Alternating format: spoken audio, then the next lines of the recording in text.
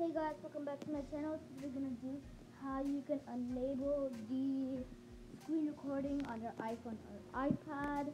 Well, yeah, let's get started. So you first want to go into settings, then you want to go into control center.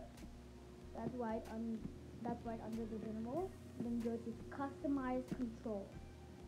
Now, what you have to go to screen recording as but actually, I already have recording, so when you go down to more controls, you'll see screen recording, and you have to press the green dot. And then to activate the screen recording, you need to go down and you'll see the dot where you can press it, and you can activate the screen recording.